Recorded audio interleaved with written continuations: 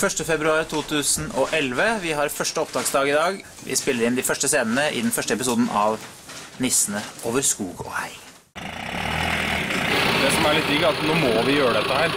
Nå har vi snakket om det så lenge, og det skal bli bra både for eh, helheten, men også for manusfremdriften, som vi ligger litt bakpå med, og har sett disse i action, da. Så vi vet hva de, de føler liksom hvordan disse nye karakterene er, og hvordan de spiller sammen med de andre.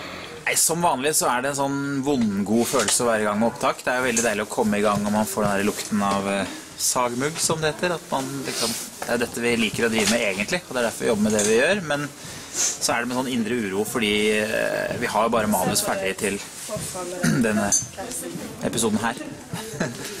Nå trodde vi at vi hadde blitt ti år eldre og mye mer erfarne, men akkurat samme greia nå.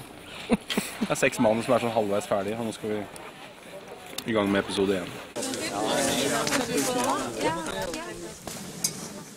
Det er så lenge siden jeg har vært vet du, så jeg må jo prøve å komme litt i, i rollen her. Så nå går jeg bare og prøver å prate litt nordlending. Så skal vi se om det går. Hva, skal vi se, hva, hva slags kamera er det her? Er det her til slags eh, Er det her Er dette programmet, eller? Dette er ikke programmet. Hva er det ikke det? Hva er det her for noe? Det er bakom programmet.